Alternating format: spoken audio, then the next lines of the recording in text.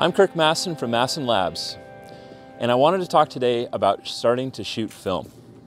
A lot of people are afraid to shoot film because they think it's too expensive or that they're going to fail. And a lot of people in the industry are invested in making film seem complicated so that you'll buy their lessons or workshops. Film is simple. Really, it's all about shooting your first roll. That is what's going to get you hooked, and that's what we're going to do today.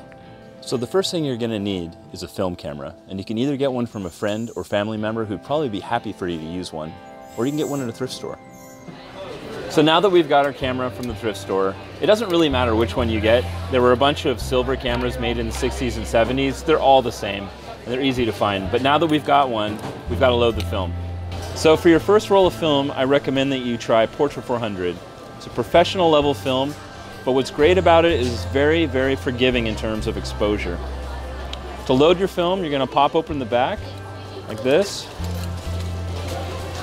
You're gonna insert the film into the left side. And then you're gonna pop this down until it engages with the film. This is what's gonna let you rewind later. Then you just feed the film into this little slot right here make sure it catches really, really well. Once you've got it in the slot, you're gonna turn this little dial right here to help feed it through. Then just close up the back of your camera and advance the lever a few times. You notice that this turned when I did that. That means that the film is, is holding onto the spool and that's good.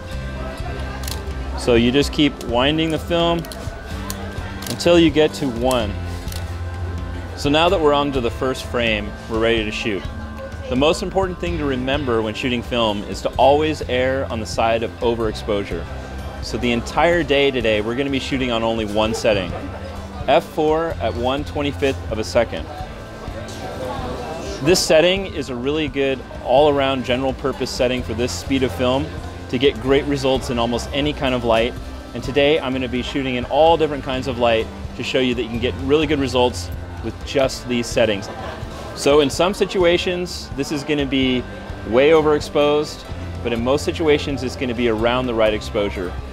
Film, unlike digital, does not suffer when it's overexposed. Film only really looks bad if it's underexposed, and these settings will always push your film towards overexposure and will get you successful photos.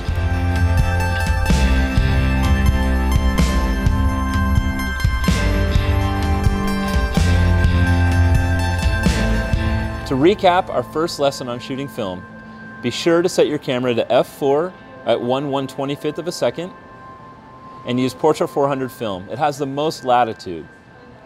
Lastly, be sure to send your film off to a professional film lab to have it processed and scanned. A professional film lab is as important as every other part of shooting film, so don't skimp when it comes to processing and scanning. So go out there, shoot your first roll, You'll be stoked and you'll be ready to learn more about film. Good luck.